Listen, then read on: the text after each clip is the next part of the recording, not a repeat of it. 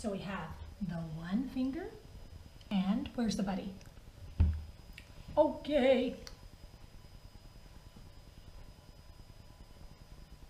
Okay. And the red buddies, we have the two finger and his buddy. Okay, can you hold your hand up so I can make the buddy?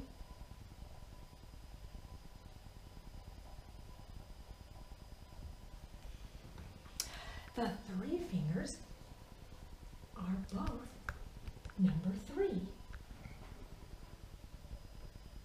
That's right, because they're the same finger on each hand. You see that? All right. And now the brown buddies, the four and